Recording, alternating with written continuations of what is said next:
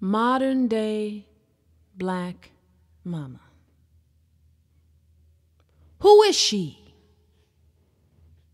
Who is the modern day black mama? Originally free, torn from Africa, groomed into an American slave. Somebody saw through her dark skin there American dream. A cultural genocide stripped her authenticity, her family broken by greed.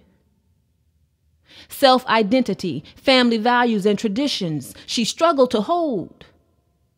Freedom for her family, freedom they got. For those who wanted it scattered abroad.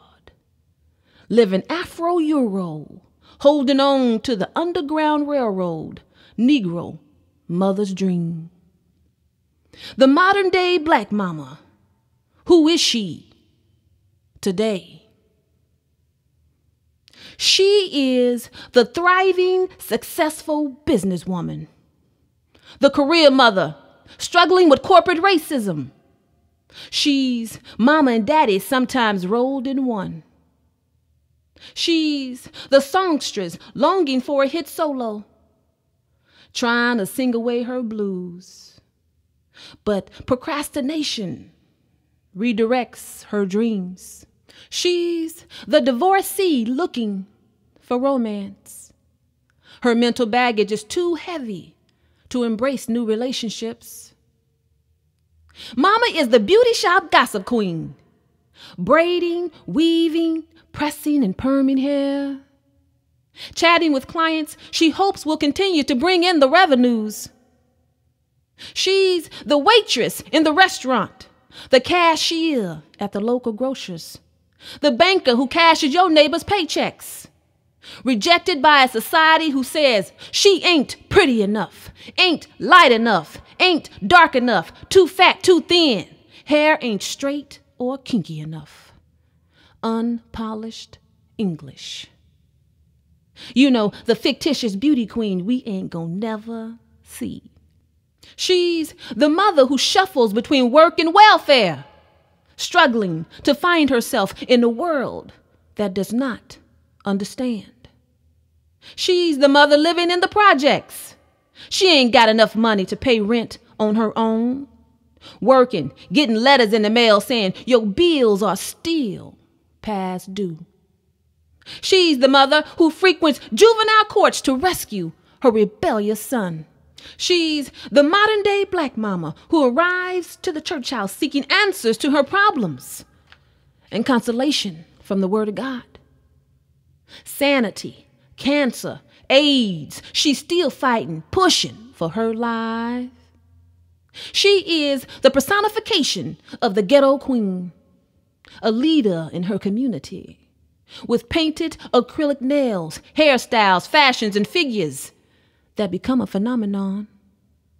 She's the one with the fancy church hat, with a decor of diamonds and gold on hands that labored for years. She's the bus driver, the construction worker, even the postman, the police officer, and the judge who must jail their own. She is the MBA entrepreneur with an empire of ideas. The single parent reentry student starting over. Parenting demanded her attention in her teen years.